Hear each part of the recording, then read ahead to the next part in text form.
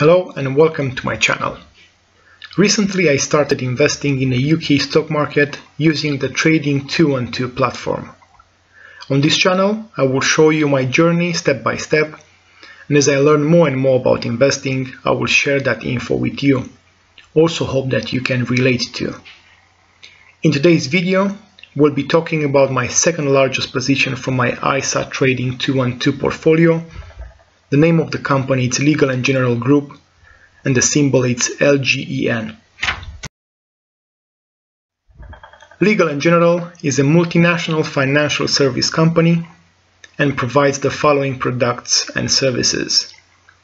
Pensions, lifetime mortgages, investment management.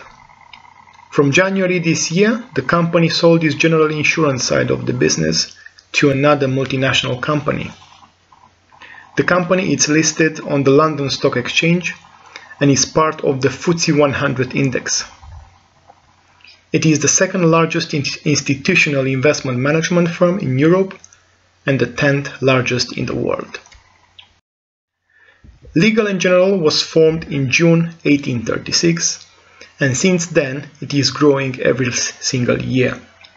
The CEO is Nigel Wilson. He was appointed in 2012 having joined as CFO in 2009. The stock price is almost 40% down from its January 2020 valuation. It's the only financial company in the UK to pay its dividends to the shareholders even after the first wave hit us. The company has over 9,000 employees with a market cap over 11 billion pounds and a revenue of 66 billion pounds. My point of view, Legal & General is an important and solid financial company with one of the highest market awareness in the pension service. I will continue to invest in the company for its relative high dividend yield, almost 9%. I will continue to dollar cost average as often as possible and use the compound interest to the maximum in this situation.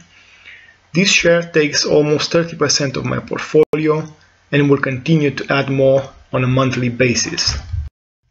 Disclaimer, I am not a financial advisor. If you seek financial advice, please see a licensed professional. If you found this information useful and wish to see more content, please make sure to drop a like, comment and subscribe to the channel. Regards.